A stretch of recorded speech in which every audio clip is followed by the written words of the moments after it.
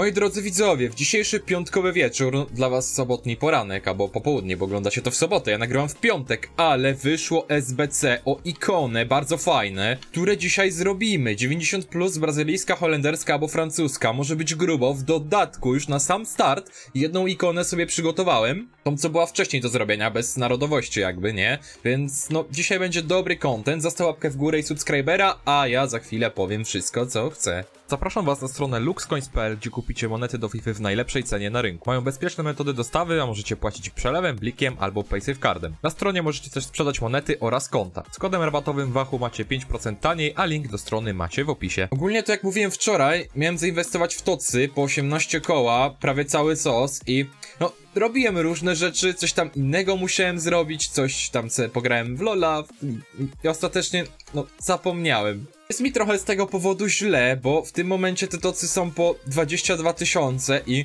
schodzą w sekundę. No, kupiłem tam może ze 25 kart łącznie i, i ogólnie to z tego powodu porzuciłem ten pomysł i poszedłem grać w Lola, tak powiem, żeby nie było, nie? Bo zalicytowałem sobie tam chyba 50 toców do 18 tysięcy, wygrałem dwa i stwierdziłem, że no, wejdę za pół godziny, za godzinę i spróbuję jeszcze raz. Jak mi się nie uda, to po prostu zgarnę za trochę drożej, ale tak się wciągnąłem w Lola, że nie zalicytowałem. Ale mam inne bardzo dobre wieści, bo Renato Sanchez w tym momencie kosztuje jakieś 3 niecałe i pół miliona. Zaraz to sobie sprawdzimy dokładniej, bo strasznie spadł. No właśnie, 3 miliony i 300 tysięcy monet, za tyle można go kupić. No i powiem tak, ja za niedługo będę robił jakieś tam wyprzedaże tego, co mam w klubie, tych wszystkich informów, które też podrożały. Wejdę, wejdę pokazać, żeby nie było, czekaj, drużyna tygodnia złoty, proszę bardzo. Najtańsze już są za 12 750, chociaż szczerze, to nie wiem, czy ich dalej nie wystawiać po 17 koła, bo one powoli nawet za taką cenę schodzą. Też wejdę pokazać, też żeby nie było, proszę bardzo.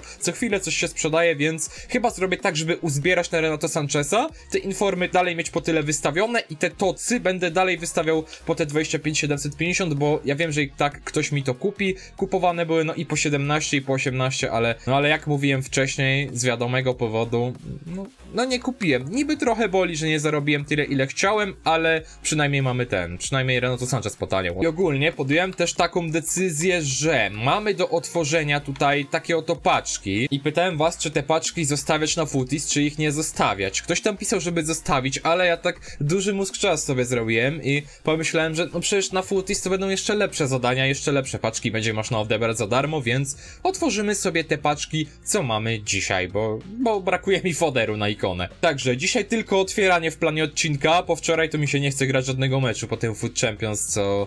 No, no co się sfrajerzyłem delikatnie, ale łapeczkę w górę taką pod filmem możecie zostawić. A ja odpalam ikonę pierwszą dzisiaj, będą dwie. Zasłaniacze mamy, nie ten, o, mamy BAM i proszę bardzo, oby, no kurde, chciałbym szczerze Maldiniego dostać, tak na dobry początek. Wiadomo jakie są szanse, ale, ale sprawdzamy. To Maldini nie będzie, to Maldini chyba również nie będzie i... Czy to są trzy ikony Prime? Żadnej, żadnej Icon Toty ani... No dobra, no beścik nie jest zły, a taki na ten etap gry to na takiego gościa z ławki, Barezi to w ogóle do niczego. Aha, no to pierwsza ikona bardzo szybko poszła, totalny syf traf, znaczy syf, bez ile w ogóle kosztuje, no... No 250 tysięcy, no na takiego z ławki, ewentualnie do przepalenia, bo no do pierwszego składu na pewno bym go nie chciał dodawać, ale, ale będzie jeszcze szansa w drugiej ikonie, tak? A może w tej paczce z niby foderem coś wypadnie, bo jest do trafienia Varan, ten level up, który do najlepszego składu w grze na pewno by się nadał. Jeżeli go nie trafię, to jego też postaram się jakoś kupić ładnie i, i po prostu zrobić jego lepszą wersję.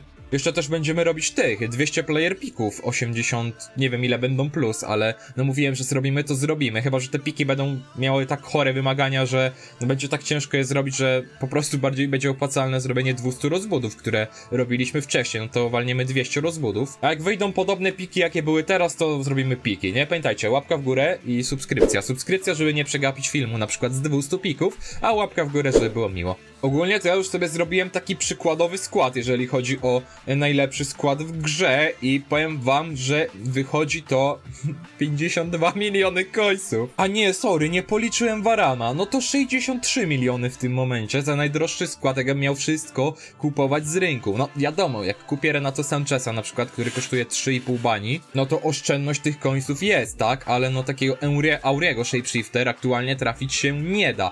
Mbappe Tots, no pewnie się będzie dało trafić na Futis. De Bruyne, którego też chciałem w składzie mieć tego level upa, bo on też wygląda na lepszego pomocnika niż Hulit, to też już się go nie da trafić, ale w teorii też go można kupić i, i można po prostu zrobić jego lepszą wersję, a tą starą sprzedać, tylko że no na to wszystko potrzeba końców, których jeszcze nie mam. Mam tylko na Renato Sancheza, na De Bruyne mi chyba z miliona będzie brakowało. No a tak to na przykład Ronaldinho Toty, Nazariosa, Trophy Titans, czy tego, Maldiniego urodzinowego, musząc sprawdzić jaka to wersja. O, Tomeczek Miller, chyba jeszcze był jeden walkout wcześniej, ale tak się zagadałem, że, że no zapomniałem. Nawet jakiejś większej uwagi do tego nie przy...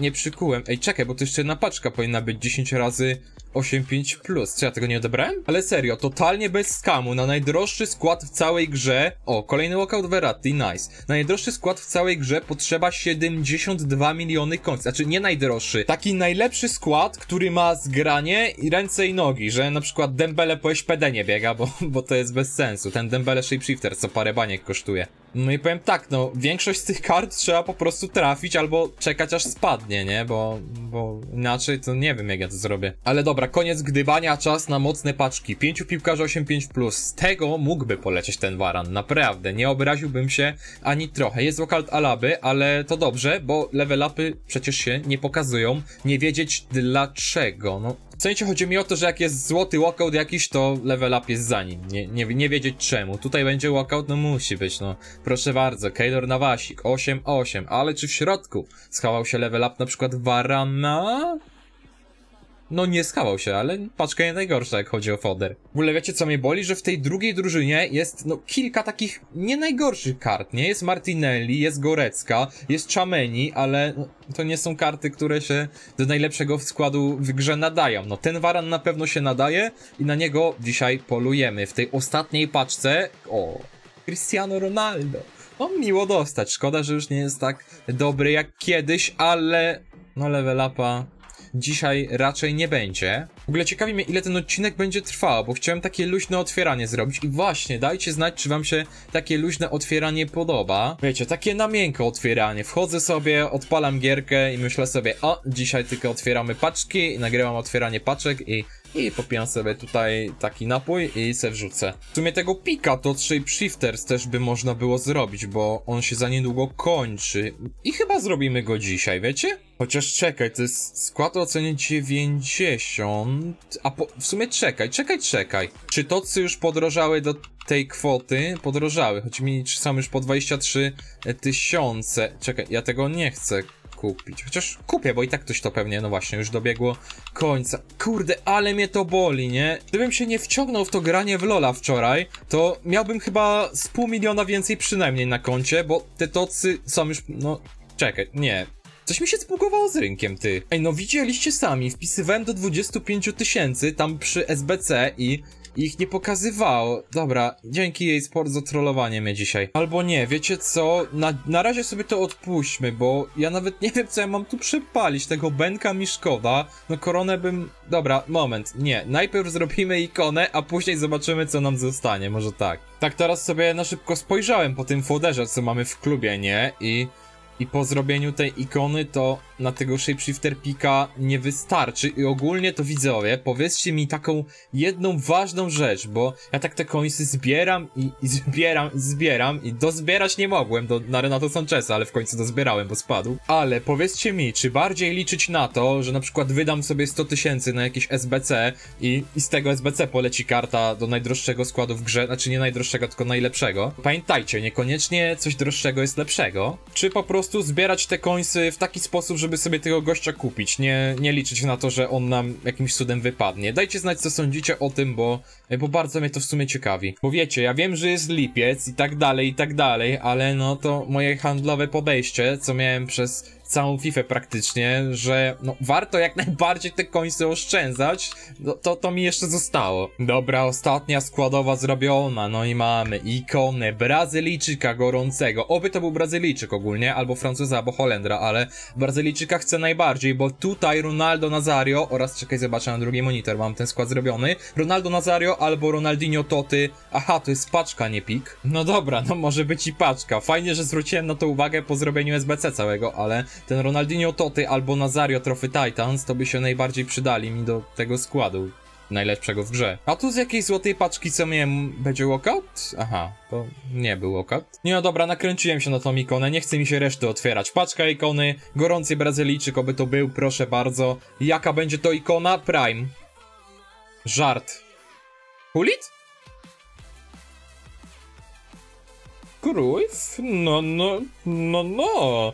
To jest dobry traf poniekąd, ale no, no najdroższego składu w grze, to no jak on mi się przyda. Pół roku temu bym dar pewnie mordę w niebogłosy, ale, ale punkt widzenia zmienia się od punktu siedzenia. Czekaj, no ja nawet wejdę w skład i sprawdzę, czy on w ogóle się zmieści za kogoś. No i właśnie o tym mówiłem, nie? Czekaj, wyłączę wam na chwilę kamerkę, żebyście mogli to dobrze zobaczyć. Punkt widzenia zależy od punktu siedzenia. Nie wszystko, co jest droższe, jest lepsze, bo jak sobie tak popatrzymy po Maguire'ze i po Ridigerze, no to stacy Cruyff ma dużo gorszy. Jeżeli wbijemy sobie tak o, ale wy możecie sobie zastopować na przykład. Popatrzcie sobie tutaj na Maguire'a, tutaj na Ridigera, a tutaj na Cruyffa. No stacy, no lepsze mają chłopaki, którymi aktualnie gram w większości. No i też nie mam pozycji dla niego, ewentualnie za Sakę mógłbym go, o jeszcze ten, no, overlay. Za Sakę mógłbym go dać w teorii, ale no, no on tu jakoś tak, no nie pasuje do tego składu. Na pewno wrzucimy sobie go na ławeczkę i, i wpuścimy parę razy, zanim zostanie gdzieś przepalony, bo no mimo, że Cruyff to na pewno go przepalę. Niektórzy mogą powiedzieć, że ten Cruyff lepiej się w grze porusza i tak dalej, że lepszy jest feeling gry tym Cruyffem. No możecie mieć tutaj rację w teorii, ale no, no kurde, jakoś nie widzę tego, żeby cały skład przebudowywać, albo pół składu pod to, że Cruyffa trafiłem. No, to, to, się nie kalkuluje. Zresztą też strasznie przywiązałem się do tego Ridigera z Maguire'em. No naprawdę, ciężko ich będzie na kogokolwiek zmienić poza Nazario, poza Ronaldinho Toty i poza tym, i poza Mbappe Toty. Ej, wiecie co? Napiszcie w komentarzu, czy lubicie takie luźniejsze odcinki, bo mi się w sumie fajnie nagrywa taki luźny odcinek, że ja sobie mówię, co myślę i pytam o zdanie widza i widz może odpisze w komentarzu, jak nie mam je w dupie, a przy okazji robi SBC i otwiera paczki i piki, nie? To, to tak mi się podoba, tak to ja mogę żyć. A na koniec będzie jeszcze paczka z tocem dla widza, bo zrobiłem te słabsze paczki jak coś, co były zaskładowe wszystkie, ta paczka z jednym rzadkim piłkarzem, to nie chcę mi się tego dzisiaj otwierać już, no naprawdę. Otworzymy sobie to jutro, pewnie i tak nic z tego nie będzie, ale no nie będę lekceważył, tak? Nie będę lekceważył, bo może jednak. No ale na sam... A nie, jeszcze będzie bonus dla widza, co został do końca. A, no to... No to warto było zostać, no... Czy ja mogę dostać z tej paczki z tocem kogoś chociaż za 50 tysięcy? Naprawdę. Jeszcze karty za 50 tysięcy nie było i to jeszcze duplikat Jamesa, którego mam w klubie wymiennego. W sumie to nawet na licytacjach by szło coś teraz zarobić, ale ale chyba mi się nie chce. W ogóle coraz mniej mi się chce zarabiać. Im więcej mam końców na koncie, tym, tym mniej mi chce się handlować. Bez kitu widzowie, ja zapomniałem jeszcze o tym, co miałem zrobić dzisiaj, bo zagrałem Food Champions na kolejnym koncie. Też wbiłem 11 winów, ale no to jest, to jest drugie konto, tak? Tutaj, tutaj to jest nieważne. Jak się uda wbić 14, to wbijam 14, jak nie, to się nawet nie pocę, bo, bo, bo po, po co. Będą nagrody dla widza, co został do końca po prostu, więc, więc zapraszam na nagrody na moim starym koncie. No i proszę bardzo, jeszcze bonusowa paczka z wymiennym tocem dla widza. Ogólnie lubię te paczki z wymiennym tocem robić na tym koncie, bo robię to z niewymiennych rzeczy, jak coś ładnego wypadnie, to wiadomo, co będzie zrobione z końcami. Ogólnie to myślałem sobie też nad tym, żeby w nowej FIFA nie zrobić czegoś takiego, żeby grać sobie na jednym koncie tak, że tam robimy wszystkie SBC, wszystkie rozbudowy i tak dalej, i tak dalej. I czy nie odpalić sobie drugiego konta, tylko pod handlowanie i inwestycje, a nawet dwóch takich kont i czy by sobie wszystkich tych końców nie zrzucać na to jedno główne konto. Jak ktoś powie, że bana dostanę, to ja znam sposoby na to, żeby to robić bez bana, bo już dużo przerzucałem w tej FIFA, a raczej sprzedawałem, więc, więc się znam na temacie. Piszcie w komentarzu, co o tym sądzicie, a ja trafiam sobie wybiednego Harego Kane'a. No spoko trafik jak na paczkę za 50 tysięcy, ale poza Kane'em nic. No to paczka za 125. W teorii mocarna, w praktyce pewnie będzie syf, nie? Nawet nie będzie okautu. O, walkout jest, dobra, jest Tiago, więc może być w teorii jakiś wymienny level upik, ale czy będzie? Klasycznie nie ma. No i proszę bardzo, jeszcze bonusowa paczka z wymiennym tocem dla widza. Ogólnie lubię te paczki z wymiennym tocem robić na tym koncie, bo robię to z niewymiennych rzeczy, jak coś ładnego wypadnie, to wiadomo co będzie zrobione z końcami. Ogólnie to myślałem sobie też nad tym, czy by w nowej FIFA nie zrobić czegoś takiego, żeby grać sobie na jednym koncie tak, że tam robimy wszystkie SBC, wszystkie rozbudowy i tak dalej, i tak dalej, i czy nie odpalić sobie drugiego konta, tylko pod handlowanie i inwestycje, a nawet dwóch takich kont, i czy by sobie wszystkich tych końców nie zrzucać na to jedno główne konto. Jak ktoś powie, że bana dostanę, to ja znam sposoby na to, żeby to robić bez bana, bo już dużo przerzucałem w tej FIFA, a raczej sprzedawałem, więc, więc się znam na temacie. Piszcie w komentarzu, co o tym sądzicie, a ja trafiam sobie wymiennego Harego Kane'a. No spoko trafik jak na paczkę za 50 tysięcy, ale poza Kane'em nic. No to paczka za 125. W teorii mocarna, w praktyce pewnie będzie syf, nie? Nawet nie będzie walkoutu. O, walkout jest, dobra, jest Tiago, więc może być w teorii jakiś wymienny level upik, ale czy będzie? No to co, czas na wymiennego toca, no niech da w końcu coś lepszego niż jakiś... Jeżeli ktoś trafił cokolwiek wartego więcej niż 200 tysięcy końców z tej paczki z tocami, to niech mi napisze, bo ja już przestałem wierzyć, że da się tu cokolwiek trafić, nie? No ale na dzisiaj to tyle, mam szczerą nadzieję, że taki luźniejszy odcinek wam się spodobał, jeszcze tutaj trzasiemy sobie podglądzik na tym koncie, ale standardowo nic w nim nie będzie. Trzymajcie się widzowie, pozdrawiam was cieplutko i do jutra o 13, czyli jak każdego dnia.